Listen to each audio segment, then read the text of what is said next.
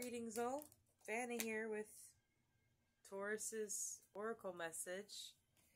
Um, our deck today is very bouncy and wants to speak to us.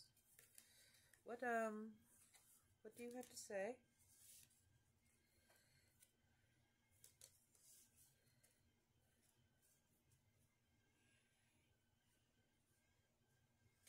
So today we're using a Lord of the Rings Oracle deck, and I love that because I'm a huge Lord of the Rings nerd.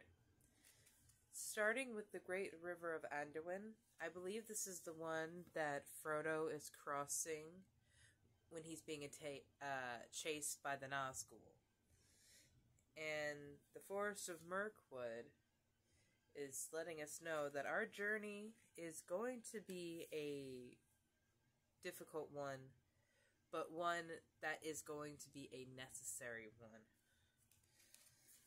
We have the warriors of Rohirrim um, with us.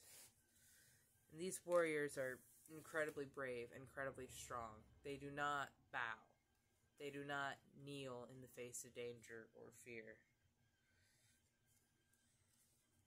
There is going to be struggle and challenges before us but that will always happen when embarking on a great journey.